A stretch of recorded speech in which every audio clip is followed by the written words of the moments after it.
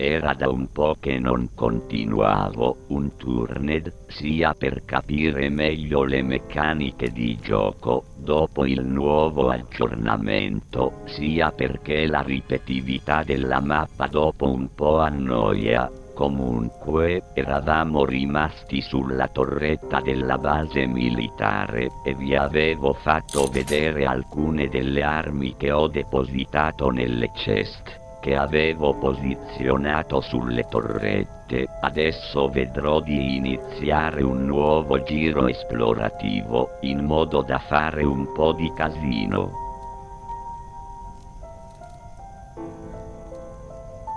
Nonostante abbia provato quasi tutte le armi che il gioco offre, devo ammettere che la balestra è l'arma che più mi sta piacendo. L'unica pecca è il fatto che puoi portare solo 25 frecce per ogni slot. Se ci fosse la possibilità di implementare nel gioco un caricatore che ne contenga di più sarebbe una miglioria davvero utile. Infatti ho lasciato un messaggio al creatore del gioco su Steam e spero che lo prenda in considerazione. Un altro tipo di arma, magari agganciabile ai fucili automatici, potrebbe migliorare anche la dinamica di gioco. Un esempio pratico sarebbe un lanciagranate oppure un RPG visto che l'arco e balestra sono armi estremamente letali, non sarebbe male poter implementare dardi esplosivi, oppure avere la possibilità di combinare frecce con esplosivi e creare frecce esplosive che uccidano e danneggino gruppi di zombie.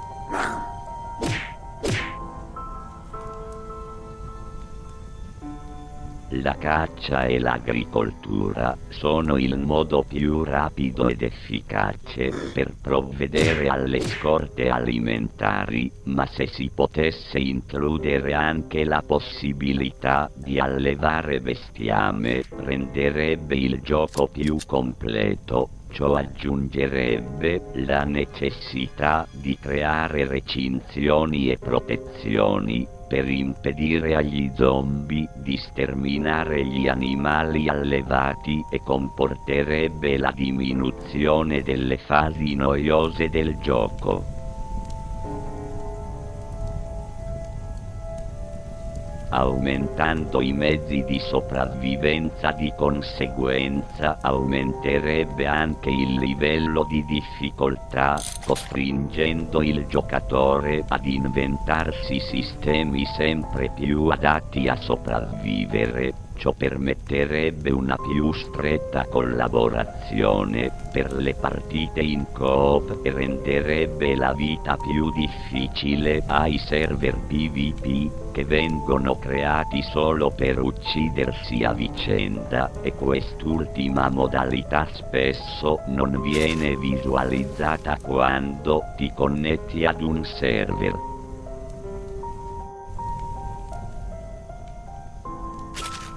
In questo gameplay sto facendo più una recensione e dare consigli per migliorare il gioco e me ne dispiace Comunque come vedete dalle mie azioni nel gioco ho raggiunto un certo livello di destrezza e sono abbastanza skillato sia nel corpo a corpo che nella distanza, anche per il crafting me la sto cavando bene, come vedrete più in là, le costruzioni che fino ad ora sono riuscito a realizzare. Espandere la mappa non sarebbe male.